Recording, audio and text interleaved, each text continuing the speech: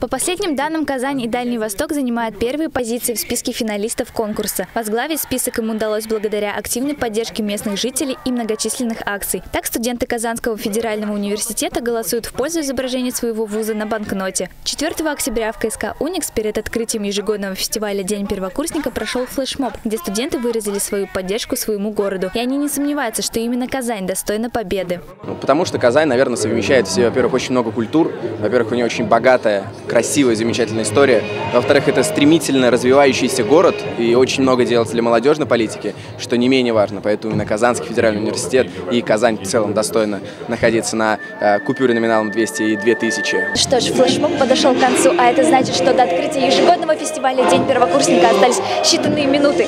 За кулисами царит невероятная атмосфера, все волнуются, ведь это их первый выход на главную сцену Уникса. Друзья, родители пришли не только поддержать участников, но и насладиться праздничным концертом. А нам остается только пожелать удачи выступающим и зарядиться яркими эмоциями.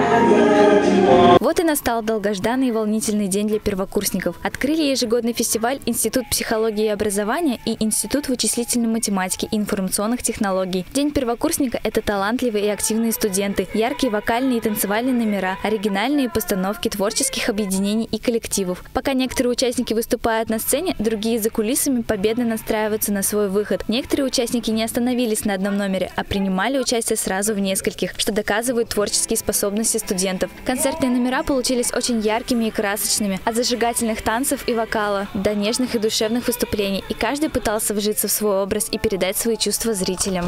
Песня такая о, о любви, о, даже, можно сказать, невзаимной, либо отношения, когда разорвались, и нужно было передать эмоциями э, эти переживания.